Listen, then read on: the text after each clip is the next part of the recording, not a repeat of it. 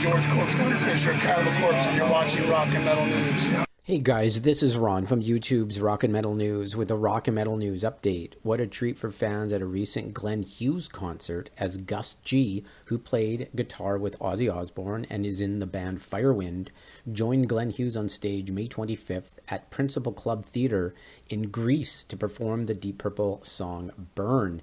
You can check it out in the links in the description. There's one on Facebook, a couple on YouTube from different angles. What a great song. What a great uh, job they did. Gus posted on social media two days ago. I got a text from my friend. Um, Søren Andersen, Hughes' longtime guitarist, he says, Hey, Gus, want to come join Burn with us in Greece? And I said, Yes, many thanks, legend Glenn Hughes, for letting me sit in with you and your amazing band last night. Loved every second of it. So check it out. And also, Glenn Hughes revealed that he has finished writing new music for an upcoming solo album, which will be amazing as well. So stay tuned for that. No release dates or anything yet set. This is Ron from YouTube's Rock and Metal News. Thanks for tuning in.